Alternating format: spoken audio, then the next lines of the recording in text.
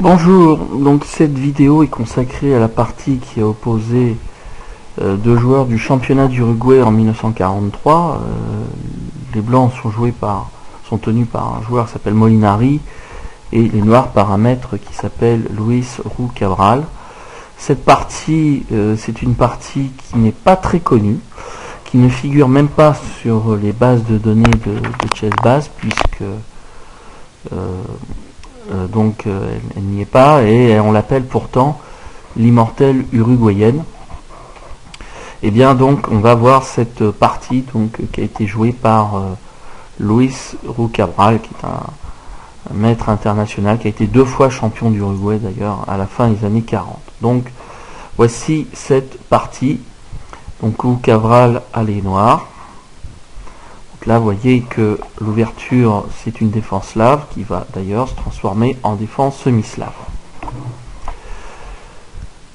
Ici, fou D3, D prend, fou prend B5. Donc là, ici, vous avez la défense de Meran qui est jouée selon l'ancienne version, c'est-à-dire euh, où les noirs jouent A6 pour jouer ensuite C6, C5, attaquer le centre, alors qu'aujourd'hui, on jouerait plutôt fou B7 avant de jouer A6. Enfin, les, les deux variantes se valent. Alors, euh, rappelons quand même, puisque la défense de Meran avait été étudiée au cours de, plusieurs de, mes vidéos, que euh, le coup E4 est le coup critique, et les noirs ici répondent par C5, donc pour attaquer le centre, pour éviter que les blancs euh, n'imposent une supériorité centrale que les noirs auraient du mal à combattre. Euh, là, dans cette partie, les blancs euh, se contentent de jouer petit roc, bon, qui n'est pas un, mauvais coup, hein, mais c'est sûr qu'il est un coup moins ambitieux. Et les noirs jouent C5. Hein. Vous remarquez quand même que les noirs euh, ne, se développent pas, ils attaquent le centre pour éviter, comme je disais à l'instant, que les, blancs n'imposent une trop grosse domination centrale donc il faut euh, imposer la pression au blanc pour pouvoir ensuite se développer confortablement et avoir un jeu euh, quand même actif. Alors ici, euh, les blancs peuvent retomber dans une variante qui commence par Dame 2, Fou B7, Tour D1, qui transpose en fait dans une variante du Gambit Dame accepté, mais avec un temps de retard pour les deux camps euh, une variante du gambit dame acceptée où les noirs euh, donc prennent en C4 et les blancs jouent la variante cavalier F3, E3, fou prend C4. Sauf que là, euh, les blancs ont perdu un temps pour prendre en C4 puisqu'ils ont d'abord joué le fou en D3 pour reprendre en C4 et ensuite revenir en D3, alors que dans la variante directement issue du gambit dame accepté, le fou prend le pion C4 en, F1 et les noirs, eux, ont perdu aussi un temps pour la pousser C5, puisque dans la variante du gambit dame accepté, ils poussent C5 euh, directement, de la case C7, alors que là, on est passé par C7, C6. Voilà, bon, Sinon, on entre dans des variantes de ce genre. Donc vous voyez que même dans des ouvertures qui sont quand même différentes, euh, on peut arriver à transposer. Là, ici, les blancs jouent un coup solide, B2, B3, c'est pas le coup le plus ambitieux, mais disons que c'est un coup euh, logique, hein. si les blancs veulent installer un fou en B2, il n'y a rien de, répréhensible. Bon, c'est vrai que les blancs ne choisissent pas euh, un système euh, ultra agressif. Fou B7, Dame 2, Dame B6, tour D1, fou E7. Voilà, donc euh, là, les deux camps se développent assez tranquillement. Là, on pouvait continuer par fou B2, petit roc, tour AC1. Et euh, ici, on a une position quand même qui est, égale, euh, qui, est, assez équilibrée. Bon, où les, blancs n'ont pas énormément de perspectives de prendre davantage. Ils ont une position saine, mais les noirs aussi ont une position saine. Donc, je pense que là, par exemple, les noirs chercheront certainement à, échanger en D4. Mais là, les blancs choisissent un, autre coup, c'est le coup à 2 à 4, c'est un coup qui, est intéressant. euh, parce qu'il attaque le pion B5 et en fait il, va forcer les noirs à, se déclarer sur, euh, sur, quant à ce pion. Hein, voilà, donc il, et, c'est bon, il peut pas rester en B5 parce qu'il a attaqué quand même à quatre reprises et il est défendu qu'une fois. Il est défendu par un pion. Donc là, les, noirs devront envisager soit de le prendre en A4, soit de le pousser c'est ce que choisit euh, Roux Cabral, donc il pousse le pion en B4.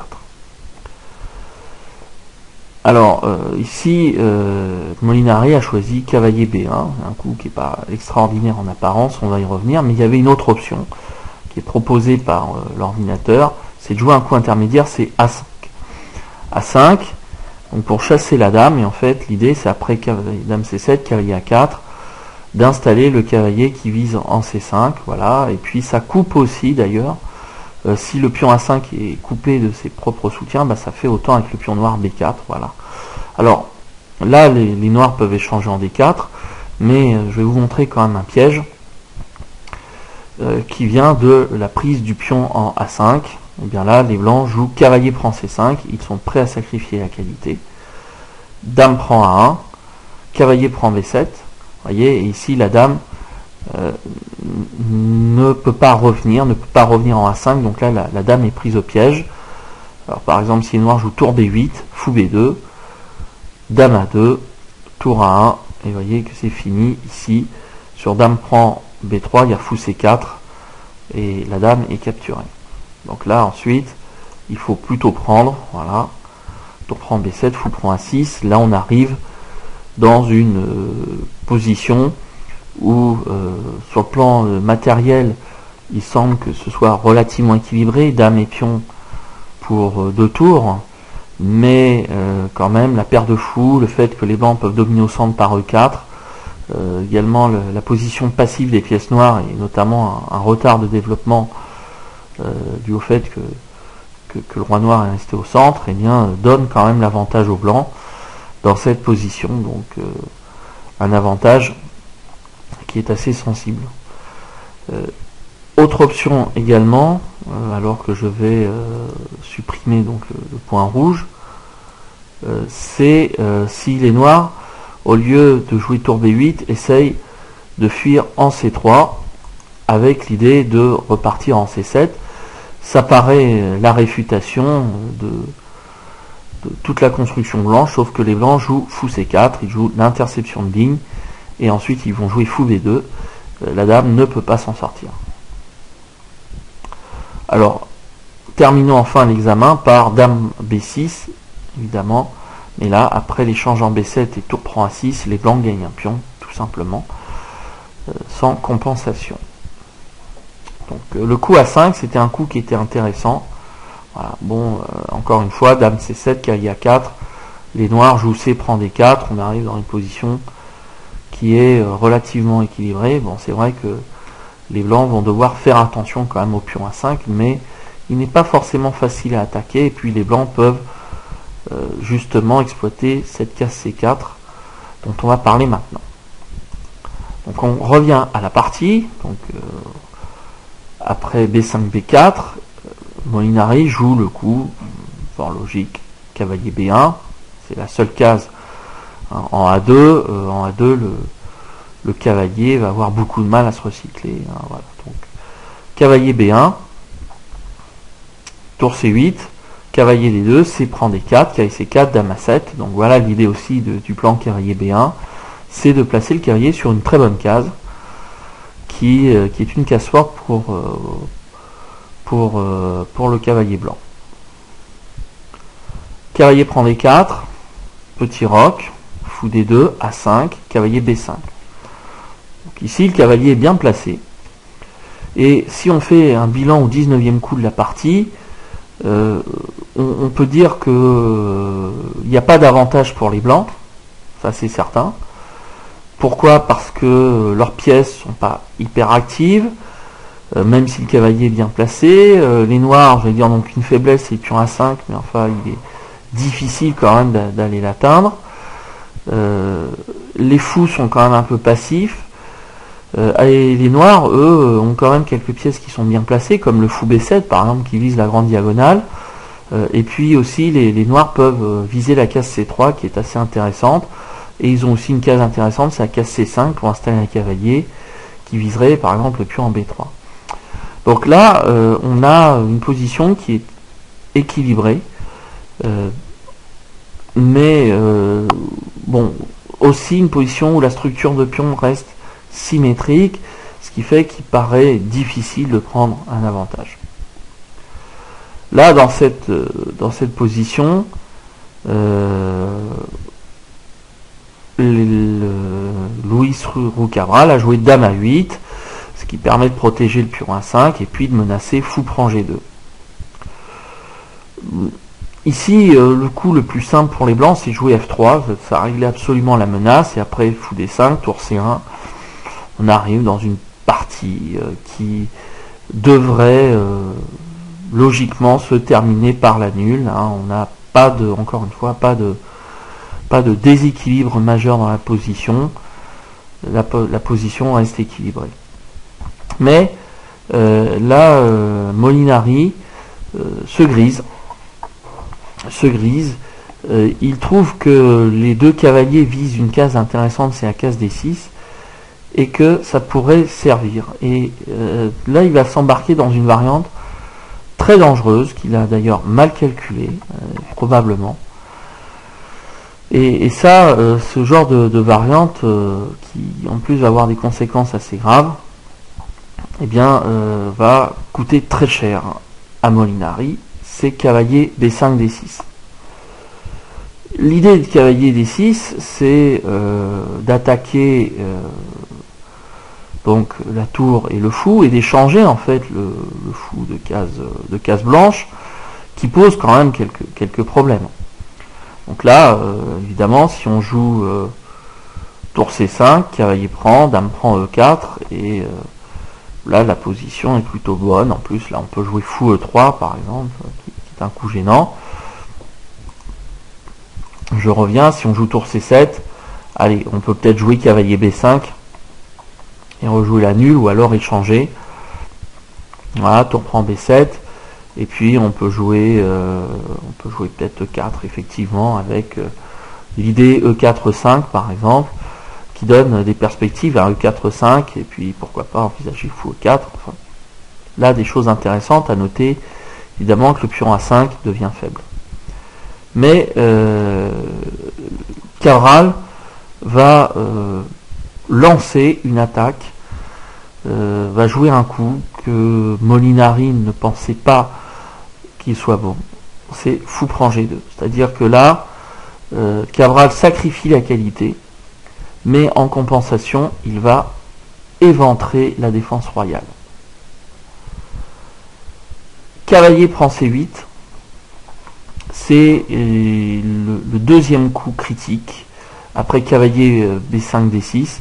Mais j'allais dire c'est complètement logique par rapport à, ce que cherchait Molinari. Euh, c'est ça quoi. Donc il pensait gagner à qualité si les, les noirs prenaient en G2.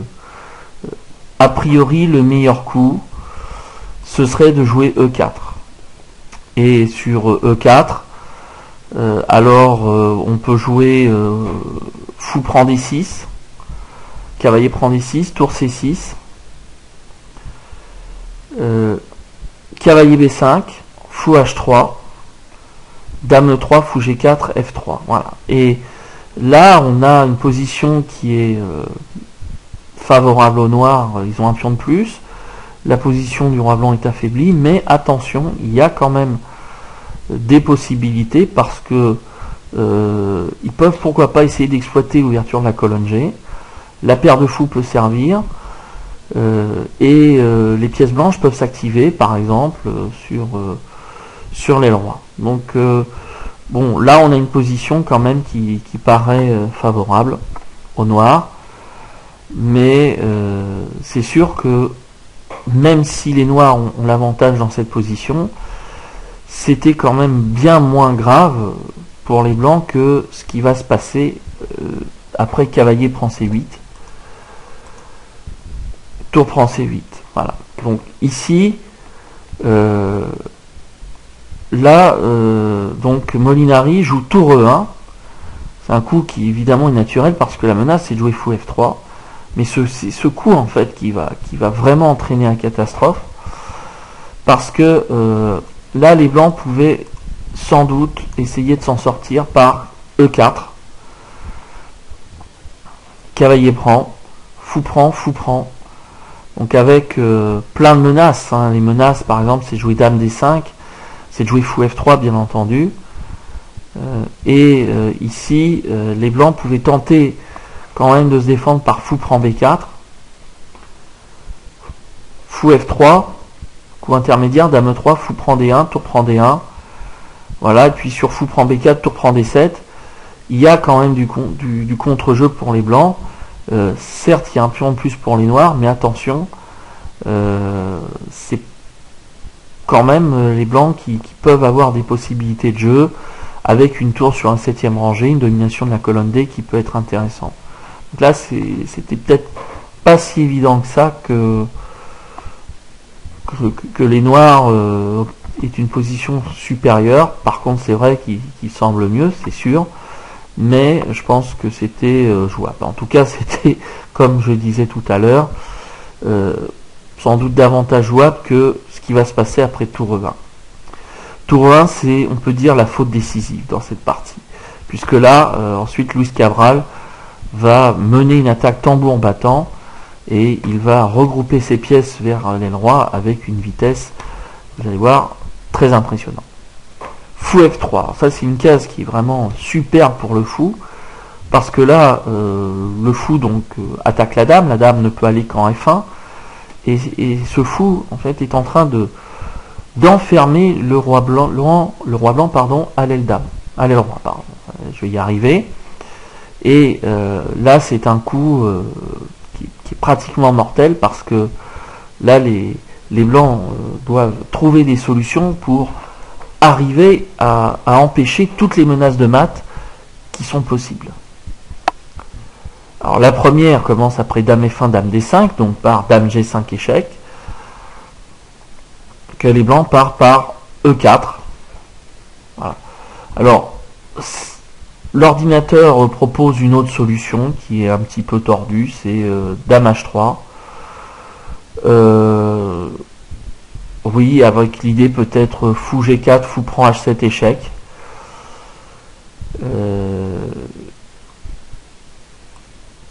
Voilà, bon sur fou H7, sur, euh, sur fou prend H7 échec. roi H8, là il y a des menaces. Bon sur fou E4 échec, fou prend, voilà, je, je vois pas trop quand même comment on peut continuer. Bon, peut-être on revient simplement euh, en, D1, effectivement, c'est une possibilité, mais alors là, on peut jouer aussi euh, Dame H5. Donc euh, là, ça paraît extrêmement fort, Dame H3. Bon, bon, Dame prend D3, c'est sans doute très fort. Mais bon, après Dame prend F3, bon, on peut gagner deux pièces pour la tour. Effectivement, bon, là, là c'est une position qui est quand même très forte. Euh, on a euh, trois pièces mineures pour deux tours, mais surtout avec un pion B4 qui est énorme, des pions C4 et A4 qui sont très faibles. Euh, ça, devrait gagner, mais bon, moi j'aime bien fou G4 personnellement. Voilà, donc sur fou prend H7. Bon, roi H8, c'est c'est la solution. Bon, dame H4. aussi, on n'a pas regardé. Bon, allez, peut-être qu'on peut jouer G5 encore une fois pour, euh, pour dévier à dame la défense. Voilà. si on joue fou H6, bah, on, joue, euh, on peut jouer cavalier pour H7. donc euh, c'est ça doit être quelque chose comme ça. Donc là ici les blancs jouent E4 pour empêcher dame G5. Ici on pouvait prendre en E4 avec le cavalier, c'était pas mal. Mais Cabral va trouver un coup très spectaculaire. Il aurait pu jouer aussi dame H5 d'ailleurs. Dame H5, fou F4, cavalier C5, euh, ou cavalier G4.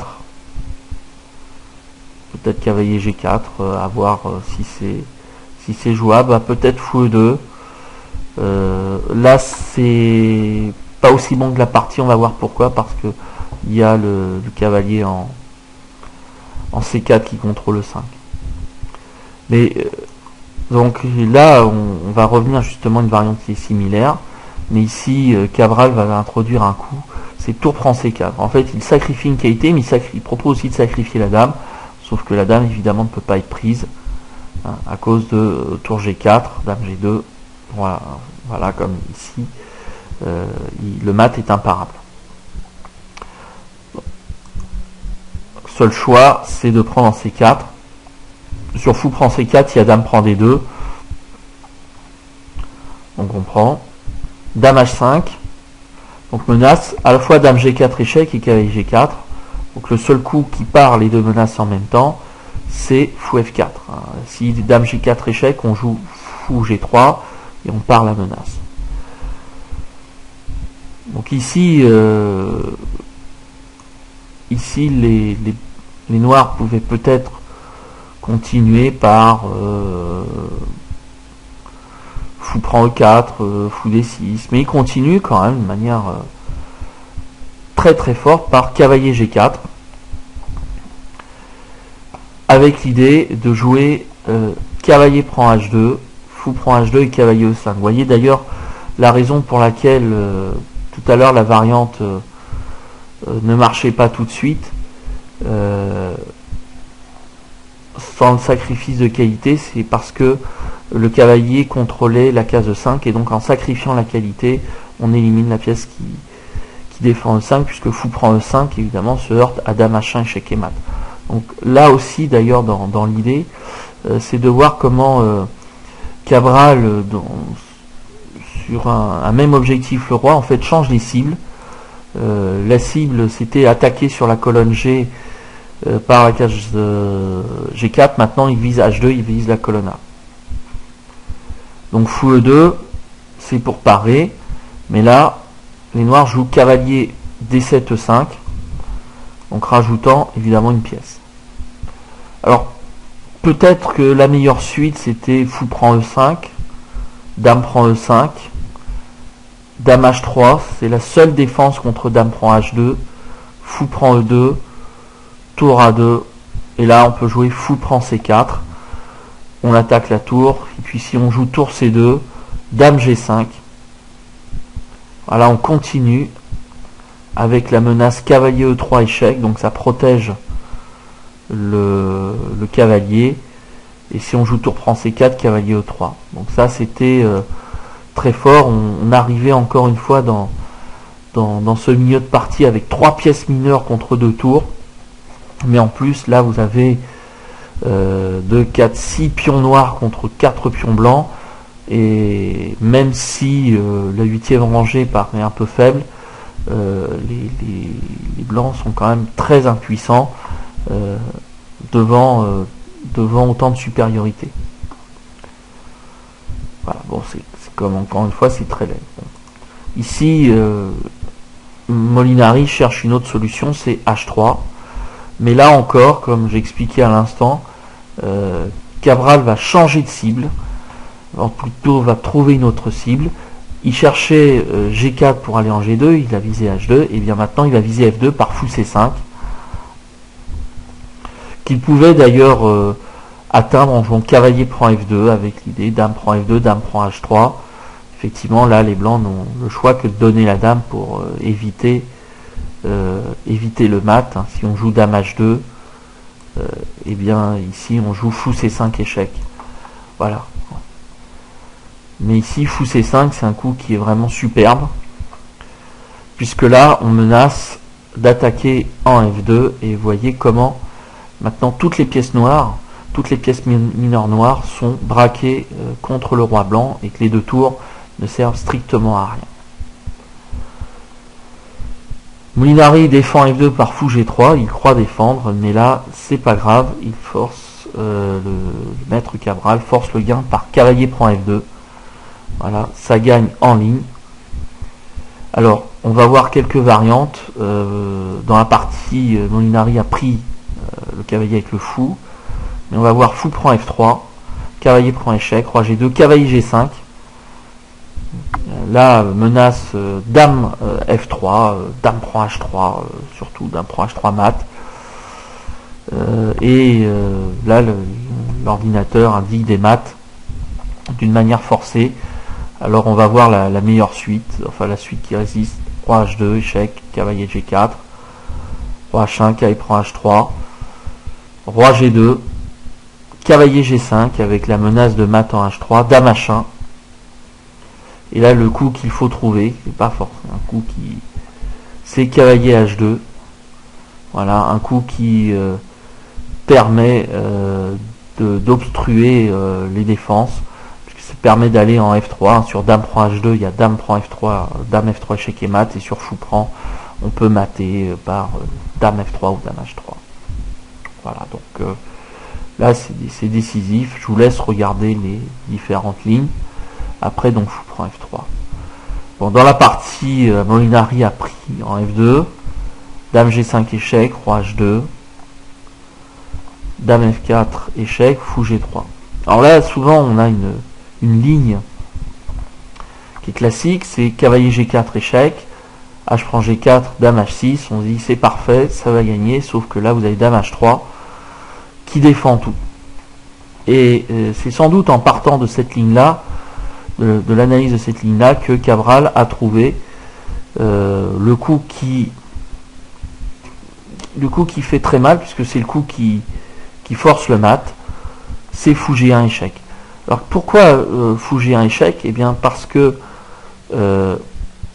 là, bon, c'est simple, ça se calcule assez vite. Sur roi prend G1, il y a dame prend G3, échec suivi de mat. Dame G2, dame prend G2 mat. Et si les blancs jouent dame prend G1, eh bien cette fois-ci on peut jouer cavalier G4.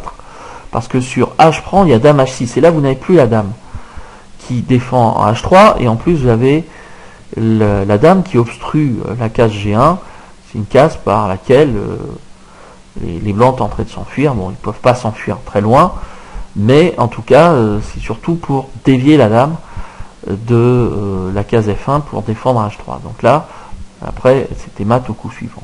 Et eh bien c'est pour ça qu'après cavalier G4 échec, Molinari a préféré abandonner, hein, puisqu'il est mat.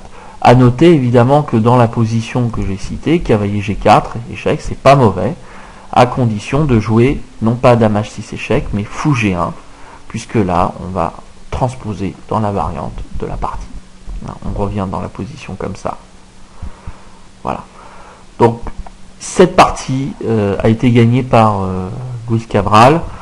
Elle mérite le nom d'immortelle uruguayenne. C'est vrai qu'elle rappelle beaucoup de parties où les Noirs ont sacrifié.